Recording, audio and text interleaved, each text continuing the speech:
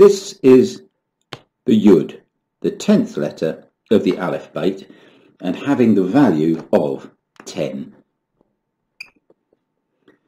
It's the symbol and essence of creation and the metaphysical. Physical. Others say spirituality. So it's all, all of those things. The form has at least two interpretations. First, a person in prayer.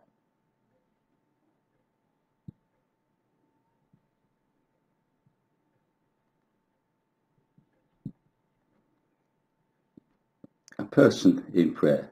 Not, not a very good drawing, is it? There you are. That's a person in prayer, and some people see the um, see the yud as a person in prayer. Others have seen as, and he lifts his heart. He's lifting his heart. That's the little lift in the uh, yud that you can see. He's lifting his heart to God. Let's do an arrow on that. He's lifting his heart to God. Hallelujah. Others say it's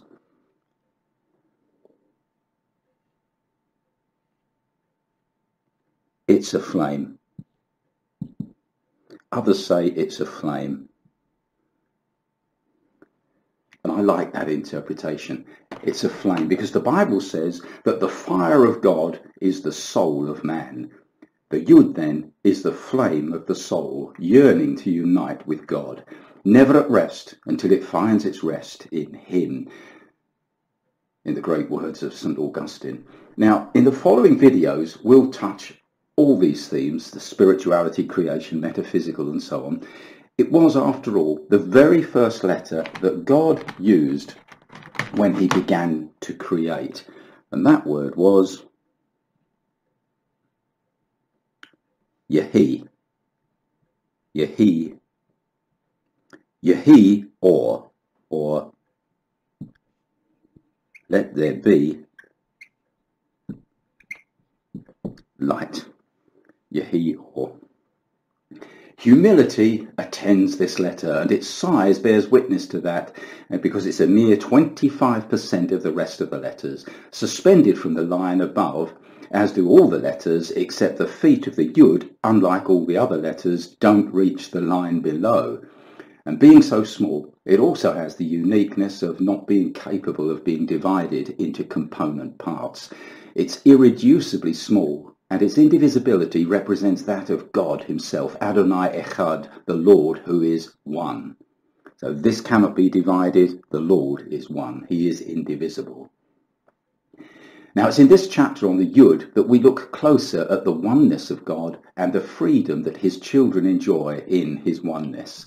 God is no static being, but the living and ever creative Lord. A comparison of the words echad and yachid can help us to appreciate the God whose trademark seems to be abundance and diversity. Judaism has always taught that the Aleph Beit must be jealously guarded in every way. In modern times, the suggestion came that the order of the letters should be changed to facilitate learning but this was categorically rejected in the belief that the order of the letters is also divinely ordained. Jesus himself exhibited a precious attitude to the letters when he said, Neither a yud nor a tittle will depart from the law. We thank God for the jealous guardianship of the Jews over the centuries, faithfully preserving the greatest treasure in this world. Even Hitler found himself prophesying of the sure survival of these guardians of Holy Writ, although he was, of course, unaware of the prophecy. We'll look at these things in the videos. Before finite creation could begin, the infinite God had to withdraw, so to speak, in order to allow for the finite to exist. This, this space has been given a name, Tzimtzum, and is a fascinating concept that we'll look at. The Yud is called by the sages the little that holds much. because all of creation was folded up within the letter and God released it. In a similar way, all Christians, however small they may feel, have the fullness of Christ folded up, so to speak, within them. And only God can release that fullness. Now the enemy knows this, and he is fearful of the revealing of the sons of God. The church is terrible as an army with banners. He knows his time is short and will do all he can to keep us at a distance from God and the inevitable unfolding of the fullness of Christ.